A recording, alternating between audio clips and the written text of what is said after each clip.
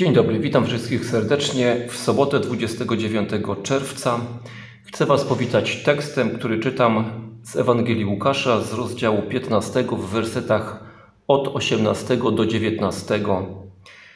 Wstanę i pójdę do ojca mego i powiem mu: Ojcze, zgrzeszyłem przeciwko niebu i przeciwko Tobie. Już nie jestem godzien nazywać się synem Twoim. Uczyń ze mnie jednego z najemników swoich. Przytoczony tekst to fragment podobieństwa o synu marnotrawnym. Znane to podobieństwo jest również podobieństwem o kochającym ojcu. Dzisiejszy fragment, ten krótki, mówi o przeszłości, o zmierzeniu się z przeszłością. Ten młodszy syn z podobieństwa musi zmierzyć się ze swoją przeszłością, z tym wszystkim, co się stało, kim był i kim się stał.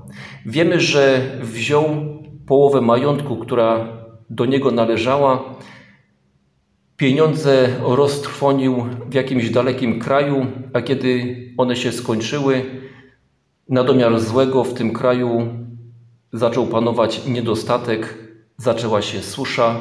Ten młody człowiek zaczął cierpieć wielki głód, najął się do jednego z obywateli tego kraju i stał się świniopasem, a więc upadł na samo dno.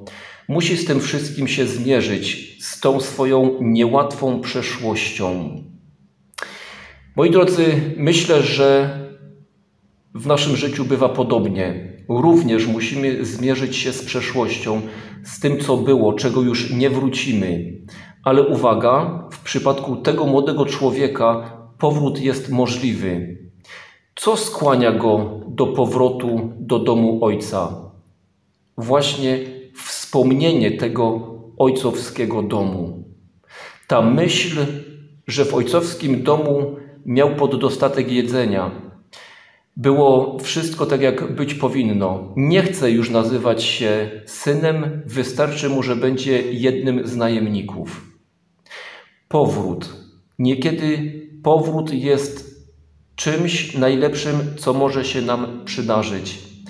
Kiedy jesteśmy postawieni pod ścianą, kiedy już nie wiemy, co zrobić, jaki zrobić kolejny krok, być może to jest znak, to jest sygnał, że powinniśmy wrócić, że powinniśmy powolutku wycofywać się z tego miejsca, w którym się znaleźliśmy, bo jest to miejsce złe, jest to miejsce niedobre, jest to miejsce, w którym, jeżeli zrobimy jeszcze krok do przodu, to zginiemy.